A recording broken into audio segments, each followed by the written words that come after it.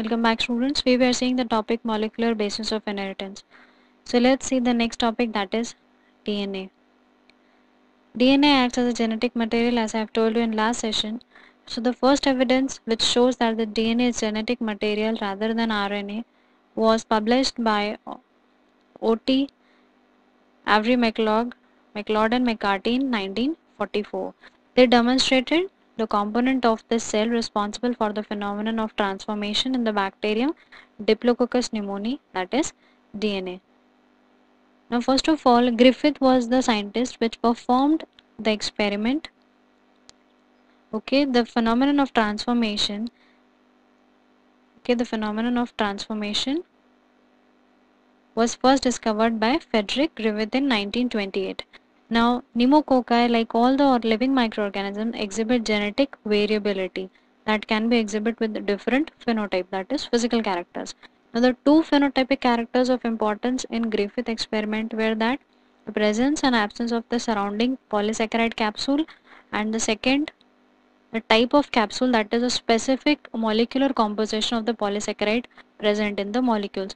Now pneumococci is a microorganism in which they have two phenotypic characters. That means first will have presence or absence of you can say the polysaccharide capsule. And second the specific molecule that means second phenotype will have the polysaccharide uh, polysaccharide uh, present in the capsule. Okay.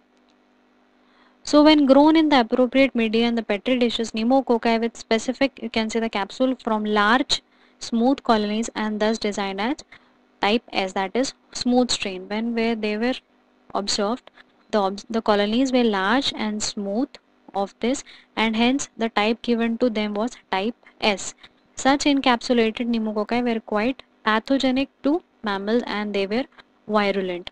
The other type was non-pathogenic or you can say the non-virulent and it didn't had any polysaccharide capsule. So such a non-capsulated non-virulent pneumococci form small, rough, surfaced colonies when grown on media and are thus designated as type R colonies. So this was type S and this was type R pneumococci. So after experiment what happened when this type R pneumococci was treated on the on the rat what happened no bacteria recovered that means the rat uh, didn't get killed okay. When the type S uh, pneumococci was inserted in the rat it was virulent to rat or it may uh, it led to the death. After that when heat killed S type that means when the smooth celled the the Griffith injected uh, the mice with the heat killed strains the rat didn't died. But in fourth one what happened when he injected the mice with live R strain and the heat kill strain, the animals died.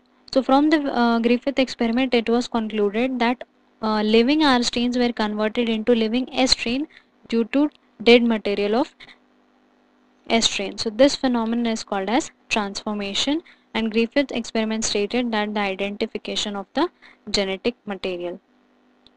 So students in this session we have seen and just an overview about the DNA. In further session, we will have a more detailed look. Thank you.